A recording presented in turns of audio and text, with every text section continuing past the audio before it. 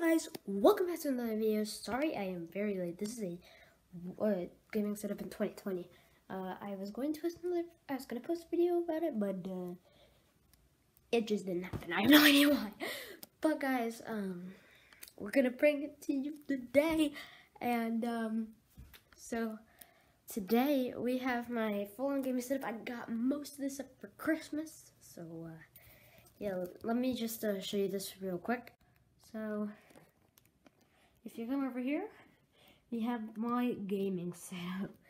So, this is a Asus monitor, 24 inch monitor. Uh, we got a iBuyPower keyboard and an iBuyPower mouse right here. Great mouse and keyboard. Very clickety. And then I got the iBuyPower gaming computer down here. This uh, thing has 16 gigabytes of RAM, i7 core processor, uh, and a great graphics card. And what we have over here is my virtual reality right here. I got the HTC Vive uh, with the two controllers, obviously.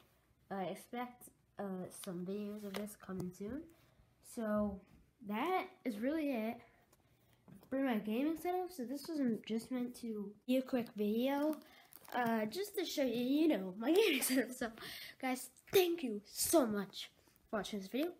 Make sure to click that subscribe button if it isn't uh, gray already, and uh, have a great day.